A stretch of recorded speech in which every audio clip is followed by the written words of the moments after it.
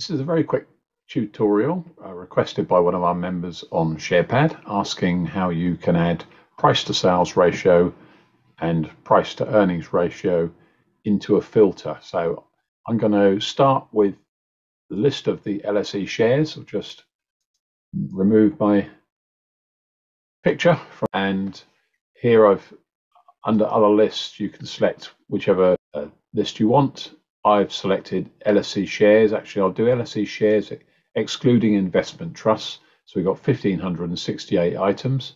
There's already columns in here for price to sales ratio trading 12 months, that's TTM, and price to sales ratio forecast. Now, if you didn't have those in, you could put those in by, by deselecting here and then adding a column. In the case where we're trying to add a filter, if we apply or manage filter. So we go to the filter button. I'm going to click a starting point, which I've got the starting point template. You remember that there's a YouTube video for that. And I'm going to copy it and I'm going to edit the details and just put in here. Let's just give it a, a reference and we'll put adding PSR and PE ratios and we'll click OK. I've not selected a particular list for that. So anyway, click OK and it comes up with my starting point, which includes the criteria added in for capitalization and shares in issue. I've actually selected a, a maximum of 10. Let me just remove that for a second and show you how to add in. Now I've actually got a column here for trading 12 month price to sales. Now that's different from a criteria because I cannot, I can order by that. I double click it, goes high to low, double click it again, it'll go low to high, obviously including any negative ones. But that's different from a criteria because I can't put in a, a maximum or minimum range. If I add a criteria, I can do two do it two ways. You can put price to sales and it says no matching column. So let's try PSR. And this is one of the problems because unless you're using the same terminology that is in uh, SharePad or ShareScope or whatever system you're on, you're not going to find it. So it, it, doesn't use PSR, it doesn't use price to sales ratio. I, I actually know where it is, so I can go and find it. But let's go back to add criteria. And in financial, under the income statement, if we scroll down, you'll find turnover down there. Click, that brings up the sub options here on SharePad. Click trading 12 months. And then on the right hand side, additional options, it says turnover and results currency. If you drop down that first one, it gives you price to turnover. So they're calling it price to turnover rather than price to sales. And click OK, and it adds adds it in as a trading 12 month price to turnover. And you can see it's exactly the same data as that previous column. And I'll just click apply so that applies it. There's no figures put in. Let me just show you how that search function works. If I put add criteria, I'm going to add the same thing again, but I'm going to now search with price to turnover.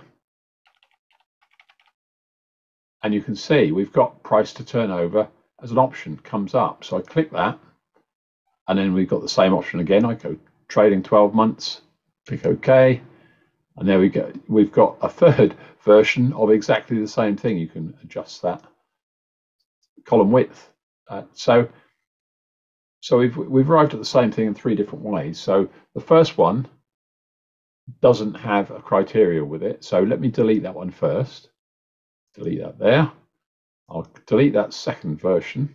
And what I've left us with, if I click apply, is, let's get rid of that. So I've left ourselves with TTM price to turnover. Now, if I want to change that and rename it, right click, select it, right click it, rename column, and then I'm going to put TTM and I'll put PSR. I'm more familiar with using price to sales ratio.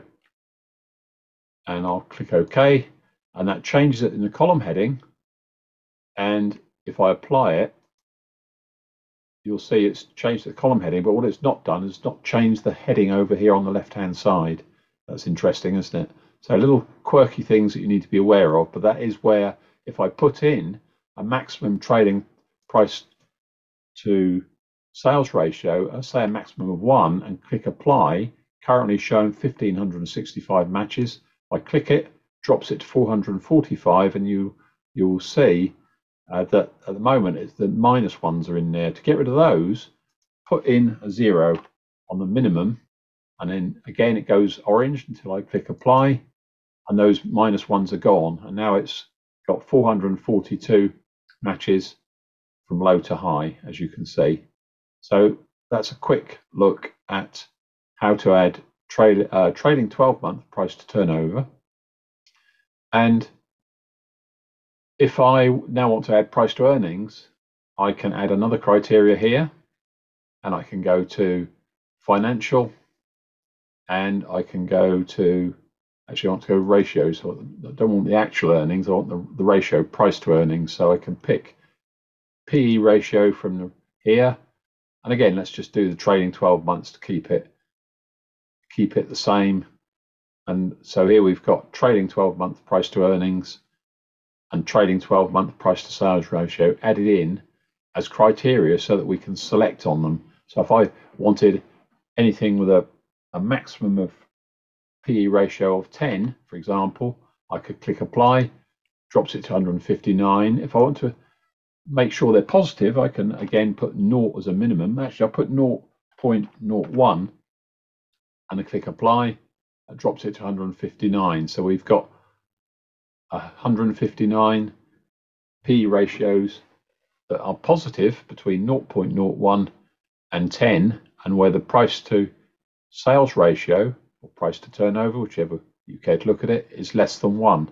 And you could then add further criteria to, the, to that selection if you wanted to. But that's in essence answering the, the two queries from one of our members about adding search criteria for filtering, data mining if you prefer, for price to sales ratio and price to earnings ratio. Hope you found that useful.